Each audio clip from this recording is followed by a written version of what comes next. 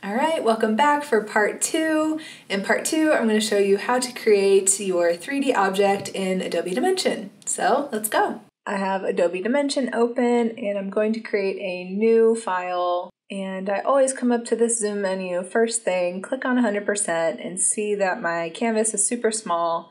So I'm going to hold shift and option, stretch that up so it's about 2000 pixels wide.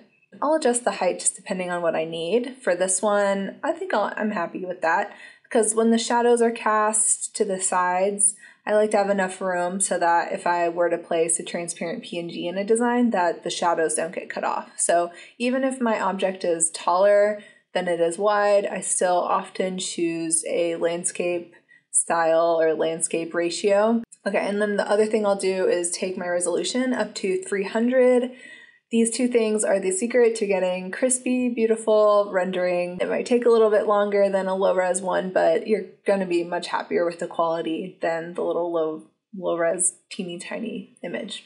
Now I'm going to start assembling. I'm going to start with the tumbler, dragging that to the base.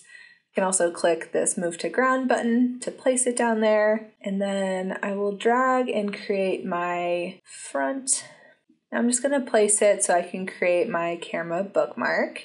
I'm just going to label that front so that I have a good sense of where the front of my rendering will be. Then I will create, oh, let me bring in the metal. There's the metal piece.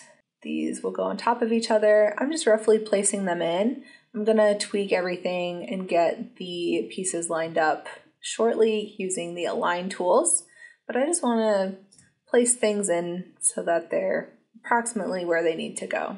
Okie dokie. We have our lid, and I'll move that to the top there. Not trying to be too OCD, but I do want them pretty close. And then we'll rotate this one down and move that in place. And the last piece, well, the last major piece is our straw which I won't stress about too much, but my OCD is kicking in. And then we need our logo for the top.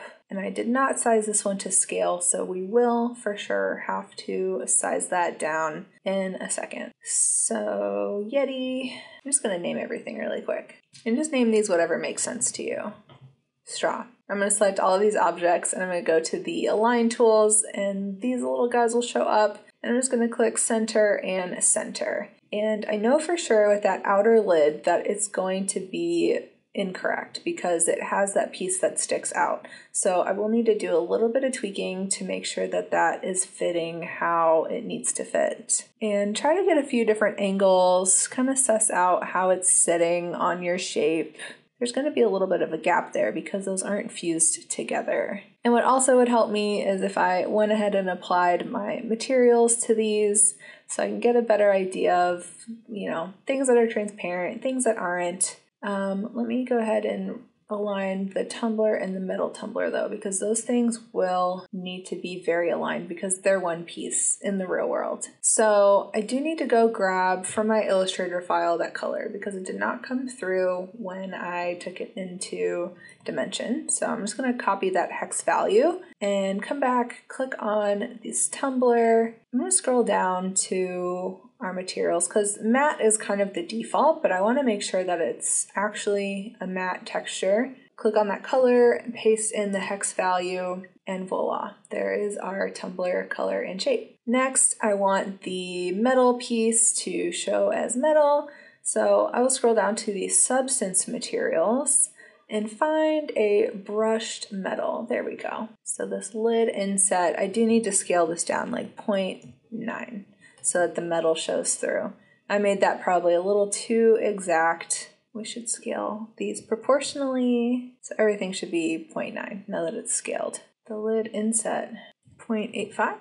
All right, and I'm just gonna get that replaced so that it sits where it needs to sit. Um, based on the reference, it does look like that is pretty accurate there. And I can also, while I have this view, move the straw so that it sits in the hole where it needs to be. Let's go ahead and add the plastic. Now you can see they are indeed plastic, but they're not transparent or translucent. So on each of these, I'll come in and I will increase the translucence to probably 86%. So hold on, with the logo, I need to apply plastic to the whole thing. And then when I click on these inside pieces, I'll be able to adjust the translucence altogether. So let's go with 90 for the translucence for all of these. So lid inset, we'll choose 90 and the outer lid, we will make that 90 for the translucence as well. Let's look at a render preview and see where we sit with that.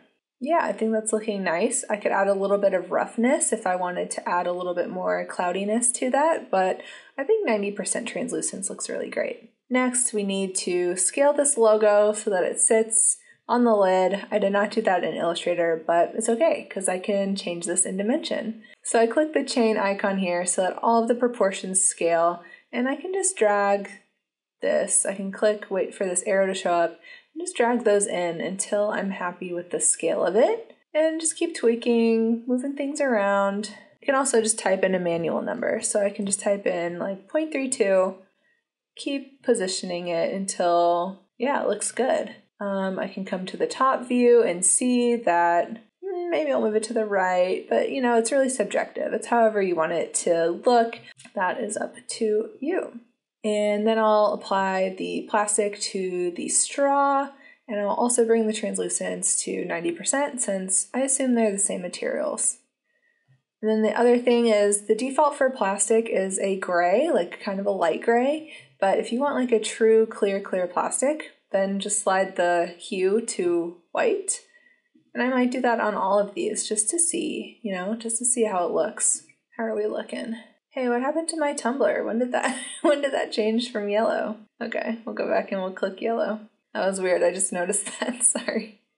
I'll watch that when I'm editing this later and be like, and then the lid inset. I'll change that one to white just to see how that looks too. Let me look at my render preview by clicking this button. And yeah, I can see that that would be really convincing and really good. I'll keep I'll keep the um, white and let me even apply it to the logo here too. Okay, and then the last step is I found the Yeti logo with the silver wrapped around. So it's also time to place any graphics you want on there. So it's as easy as just dragging, dropping, I found this logo. I'm to place it on here and make it look like a real Yeti cup. So drag it into place. Let me come back to my front view and get that situated.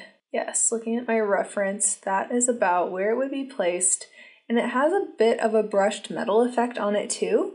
And I can achieve that by sliding this scale and I can choose how rough I want it. Like, do I want it like really shiny or do you want it kind of like a matte metal? But that is the way to place in a graphic and make it look metallic.